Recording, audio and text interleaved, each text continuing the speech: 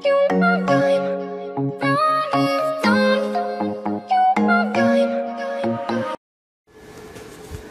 Guys السلام علیکم میں زویا شیخ آپ کو اپنے channel Zoya fashion and beauty میں ویلکم کرتی ہوں آج کی اس ویڈیو میں میں آپ کو بتاؤں گی کہ کیسے آپ اپنے بالوں کو لمبا گنا اور سیاہ کر سکتے ہیں فرینڈ ویڈیو پسند آئے تو لائک لازمی کریں اپنے فرینڈز کے ساتھ شیئر بھی کریں اور اگر آپ میرے چینل پر نیو ہیں تو پلیز میرے چینل کو سبسکرائب کر لیجیے، کیونکہ میں اپنے اس چینل پر فیشن، بیوٹی اینڈ مہندی کی لیٹسٹ ویڈیوز لاتی رہتی ہوں۔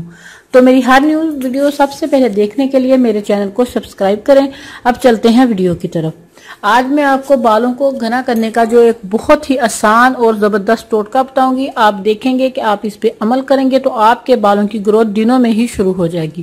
یہ بہت ہی آسان اور سستا ٹوٹکا ہے۔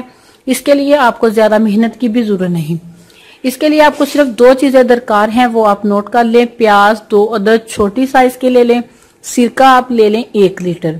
پیاز کو چھلکا ٹکڑوں میں کاٹ لیں۔ کسی برتن میں سرکہ ڈال کر اس میں پیاز کے ٹکڑوں کو شامل کر دیں اور اسے ایک ہفتے تک سائے میں پڑا رہنے دیں۔ اس کے بعد پیاز کے ٹکڑوں کو سرکے سے نکال لیں اور سرکہ محفوظ کر لیں۔ اس سرکے کو روزانہ دس دن رات کو سونے سے پہلے اپنے سر کی جلد پر لگا کر مساج کریں اور سو جائیں۔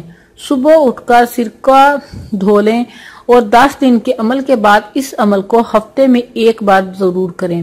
آپ کے بال دنوں میں ہی گنے اور مضبوط ہو جائیں گے۔ بالوں کو گنا کرنے کے لیے انتہائی آزمودہ اور لاجواب ٹوٹکا ہے۔ آپ اس پہ عمل کریں تو انشاءاللہ آپ کو اس سے فائدہ ملے گا۔ امید کرتی ہوں آپ کو میری ویڈیو پسند آئی ہوگی۔ اگر آپ کو میری ویڈیو پسند آئی ہے تو اسے لائک اور شیئر کریں، میرے چینل کو سبسکرائب کریں۔ دعاوں میں یاد رکھیں۔ اللہ حافظ۔